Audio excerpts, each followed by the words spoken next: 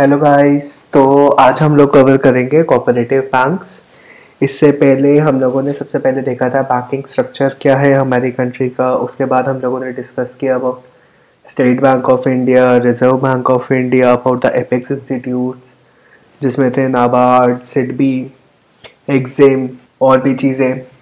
ऐसे ही उसके बाद मैंने अपनी लास्ट वीडियो में कवर किया था आर उसके बाद आज हम लोग डिस्कस करेंगे about cooperative banks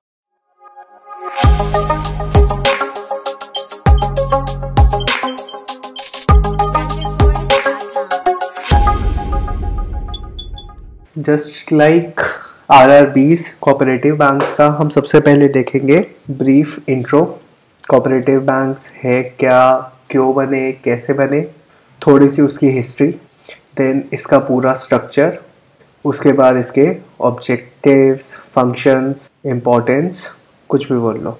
एग्ज़ाम्स में जनरली ये आएगा तो तीन या फिर साढ़े सात में मोस्टली आते हैं.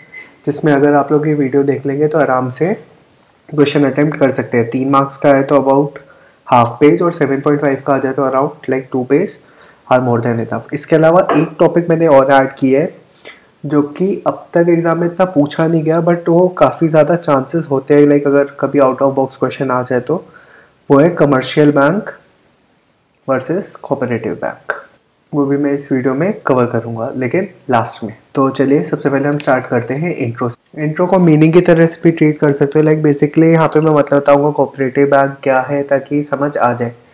एक चीज़ ध्यान रखिए कि लाइक मैं जितनी भी वीडियोस बनाता हूँ, कभी भी मैं ज़्यादा इंग्लिश फोकस या वैसे कुछ नहीं करता, क्योंकि हम लोगों का एम ये है कि आपको एक बार टॉपिक समझ आना चाहिए। टॉपिक समझ आ जाए तो एग्ज़ाम में आप अपने वर्ड्स में कुछ भी लिख सकते हो। तो जैसे कि आज हम लोग कोऑपरेटिव बैंक के बारे में बात करेंगे। तो पहले इसकी मैं एक छोटा सा मीनिंग और डेफिनेशन लिख लेता हूँ। उसके बाद हम इसको डिस्कस करते हैं। आसान भाषा में आसान सी definition A cooperative bank is a financial entity which belongs to its members who are at the same time the owner and customer of bank cooperative bank मेरी एक ऐसी फाइनेंशियल एंटिटी है जिसमें जो मेरे मेंबर्स हैं वो ही उसके ओनर भी है और कस्टमर भी हैं। कोऑपरेटिव बैंक में जो वर्ड कोऑपरेटिव है, वो मेरा वर्ड आता है कॉपरेशन से।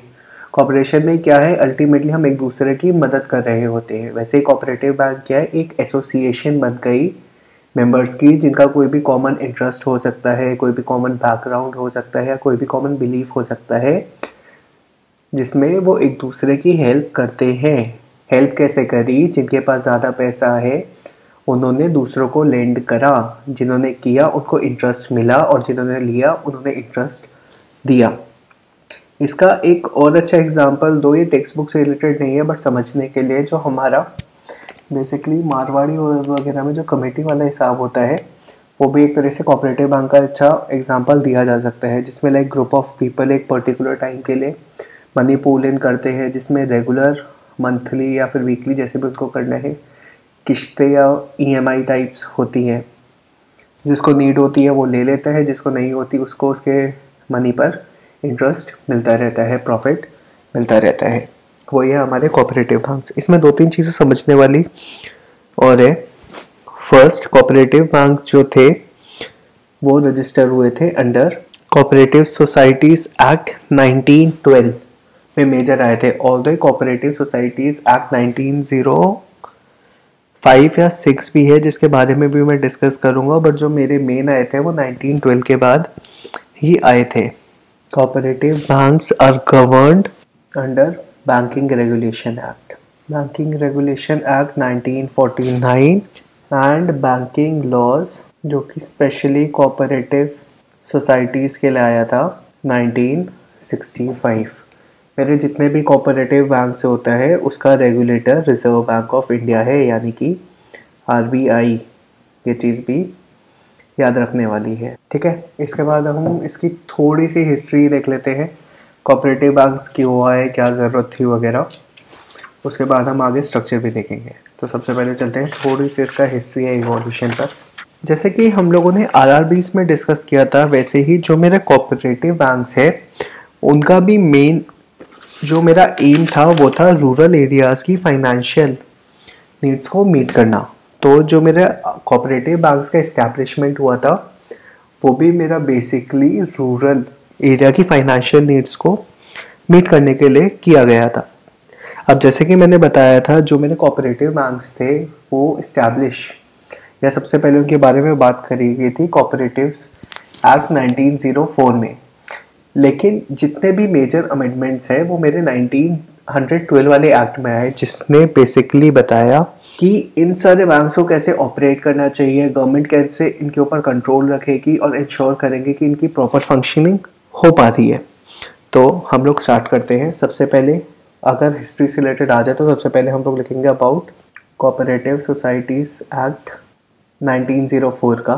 इसके बारे में बताओगे कि लाइक रूरल इंडिया की जो फाइनेंशियल नीड्स थी, उसके लिए कोऑपरेटिव बैंक्स को इस्टेब्लिश करने के लिए बोला गया अंडर दिस एक्ट इसके बाद कुछ को इस्टेब्लिश कर भी लिया, लेकिन गवर्नमेंट को रियलाइज़ हुआ कि हमें इन सब पे चेक भी रखना है, इनकी ऑडिटिंग भी करनी है और लाइक सारा ट्रांसपेरेंट वगैरह सिस्टम भी होना चाहिए। इसलिए अगला मेरा एक्ट आया कोऑपरेटिव सोसाइटीज़ एक्ट 1912 जिसका मेन फोकस रहा about about establishing new institutions और ऑर्गेनाइजेशंस फॉर सुपरविजन ऑडिटिंग ये मेजर है and supply of cooperative credit ठीक है?